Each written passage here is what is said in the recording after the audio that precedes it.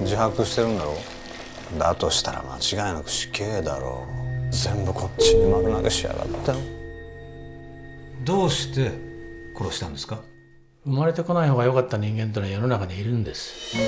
価値にこだわる弁護士と二度目の殺人を犯した男。重森さんたちはそうやって解決してるじゃないですか。死刑のことを言ってるのかな。ほっとけよ。言うことコロコロ変わるんだからさ。殺したのは奥さんに頼まれたからです。私たちは家族を殺されたんですよ。たまに女の子が来てたわね。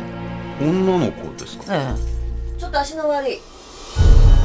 あなたは死刑になった方がいいとは思わない。ここでは誰も本当のこと話さない。命は選別されてんですよ。理不尽に。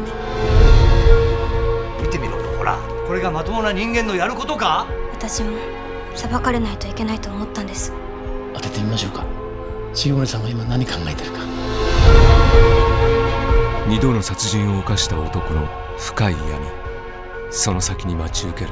三度目の殺人とは。今度こそ本当のこと教えてくれよ。ダメですよ重森さん。僕みたいな人殺しにそんなこと期待しても。三度目の殺人